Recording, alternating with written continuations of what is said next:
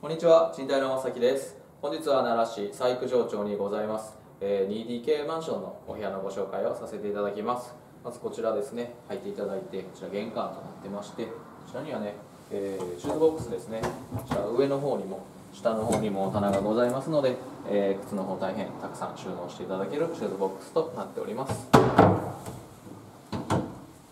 そしてこちらはですね、えー水回りの方なんですけどもこちら、えー洗面台がついておりましてこちらにはね室内における洗濯機が置けるせ、えー設備となっております。そしてその横の方ですねこちらトイレとなってましてトイレの方ね窓もついてますんで大変明るく、えーご使用いただけますね。そしてトイレの反対側なんですけどもこちらね浴室となってまして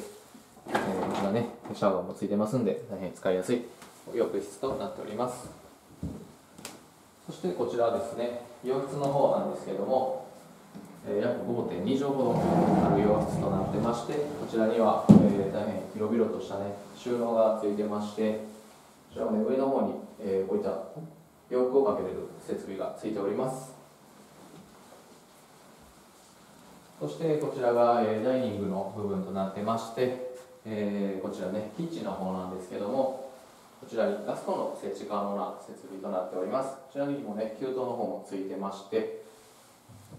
上の方で棚の大変、えー広々としてまして下の方にもありますんでね食器などたくさん収納していただけますね。そしてこちら最後になりまして、えー和室の方なんですけどもこちらねエアコンもついてまして、えー初期費用の方大変抑えられますね。